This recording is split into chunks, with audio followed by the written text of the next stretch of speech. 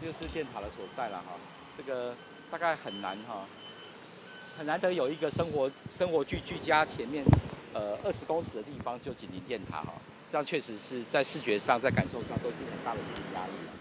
指着高压电塔，交通队业务组长陈大为说：“这个电塔离交通队的办公大楼不到二十公尺，实在很难忽略它的存在。尤其同仁每天上下班都会看见它，心里总是感到毛毛的。因为我们每天上下班压力本身就很大，啊，每天上下班看到这电塔，又有很多同仁有发生病变，哦，心造会这电塔造成我们心理跟身体很多的压力。”我感觉也也不是很好啦，但是这还是有疑虑嘛。就是人家讲的都有电磁波了，不是之前 NCC 来来来测的话是没有啦。那那这个也没有办法啊，工作环境，你工作场所在这里，你还是还是要待啊，就这样子啊。是，当然希望如果说可以迁移，当然是迁移啊，或者是地下化。远景说，夜深时还曾经听到电塔发出声音，上万伏特的线路离办公室不到二十公尺，心里的压力真的不少。尤其还有同事身体状况路线出问题，昔日的干部甚至被诊断出脑瘤，难免会因此联想。确实有一位我们的同仁哈，之前这边服务，呃，他就住在隔壁这一间哈，离这个电塔最近的地方，呃，最近呃似乎被诊断出确诊有得一个五点多公分的脑瘤。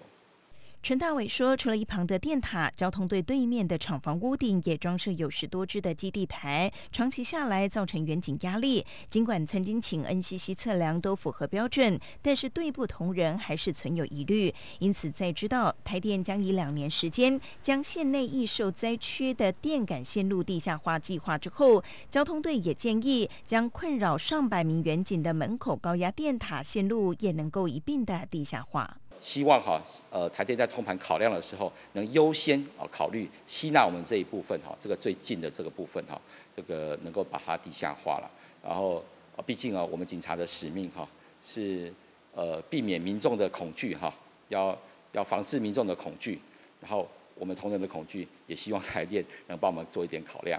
不过，台电表示，交通队旁的电塔是屏东工业区重要的输电线路，地下化的可能性不高，建议比照潮州林后四零游乐区的电塔彩绘，来减少远景的心理压力。而对于台电的回复，交通队并不放弃，强调为了维护同仁的身体健康，将会持续的争取电塔地下化，为同仁建构安全无虑的工作环境。屏东新闻蔡丽华魏德伟采访报道。